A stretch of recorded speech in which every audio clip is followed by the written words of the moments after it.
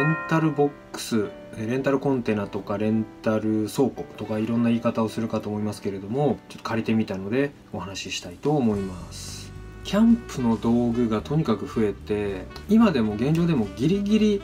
まあどうにか片付けることはギリギリできるんですけども11月に最後キャンプ行ってるんですけども片付ける気にもなんなくてその辺にもぶん流って車にもまだ積みっぱなしとかバーベキューのコンロもまだ洗わずにそのまんまの状態とかいう状態になってしまってるのでちょっとね年末に向けて、うん、大掃除もしたいし綺麗に片付けたいので、まあ、今後のことも考えてレンタルボックスというのを初めて借りてみたので昨日一昨日かな電話で申し込みをして届いたんですよ。届いたってレンタルボックスが届いたっておかしな話なんですけども本当は電話をして現調させてもらって中見せてもらってっていうイメージでまあいたんだけれどもどうも違って電話をしたらもうそういうことは一切やってないと。全て郵送。でことが済むというのが今の、まあ、レンタルボックス電話をしてその場所の名前ねなんとか何々市何々町名のなんとかっていうそのそれぞれ名前が付いてるのでその名前を言って空き状況を確認して何番を借りたいですとまあいろいろその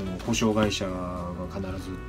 つかなきゃいけないとかいろいろあるんですけれども全部済むとこれが送られてくると。会社の人と一切対面でやり取りすることがないまま進められるみたいで僕は2乗タイプというのを今借りてみたんですけれどもそこにねダイヤル式の南京錠がかかってるらしいんですよ。要するにその解除の番号がここに入ってると。まあおそらくそういうことだと思うんですけど入っててそれを開けて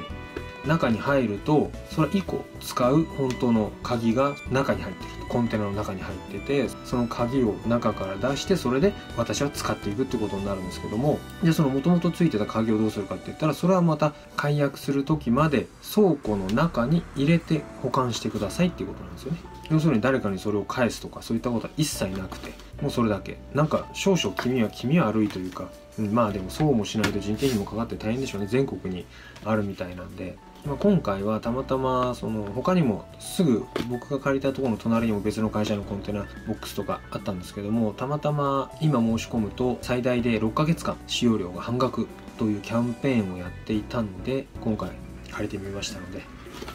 これが届いてるのでこれを持って実際に今現場に行って見てみたいと思います。なるんですけども扉の開きがこっちが通路の入り口になるんでこう開くと荷物の出し入れ面倒だろうなとこう開いてたのがこう出入りできるっていうことでここにしましたどうもちょっと分かんないんです。けどホームページで内装が2種類ある内装がベニヤでちゃんと作ってあるところとやっぱむき出しのところがあるみたいでどっちなのか届いた番号で初めて開けてみたいと思います。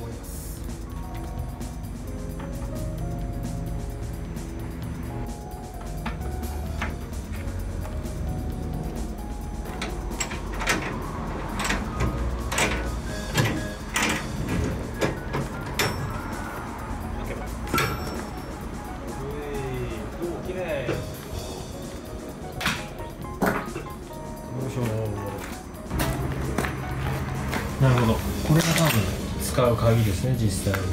これが今外したやつでこれを次返す時まで解約する時までこの中で保管してくださいという鍵みたいですねこれがね。これが届いた書類なんですけどもここに今鍵の番号とか使い方それから解約の申し込みの用紙も入ってたんでもう完全に誰にも会わずに全部が完結するっていうことみたいです。これ2乗タイプなんですけど2畳？なんかでかいな。ちょっと後で今大きさ測ってみますけど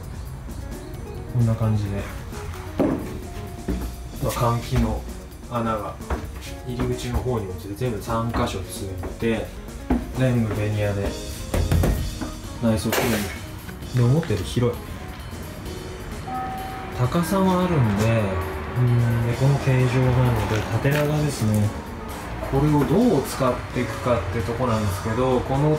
ちょっと縦長のこの感じだとまあそうじゃなくても多分そうだと思うんですけど高さをいかに有効に使うかっていうところ大事だと思うんですよね。なので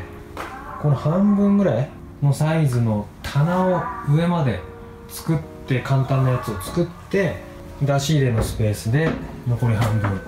うん、っていうイメージの方が詰める荷物が入るんじゃないかと、うん、いう感じなのでこれからちょっと寸法だけ取って明日材料を買ってきて棚を作ってしまおうと。ちょっと寸法だけ取って今日は帰ります。鉛筆忘れたまず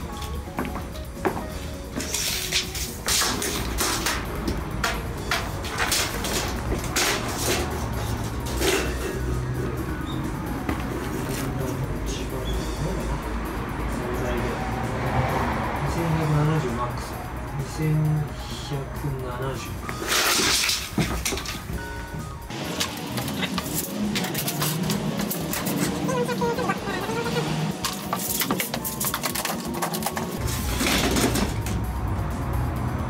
えやな。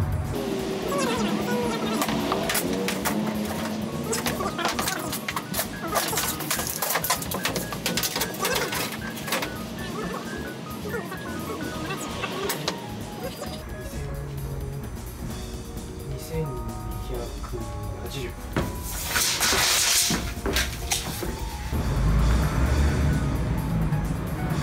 こんな感じでした。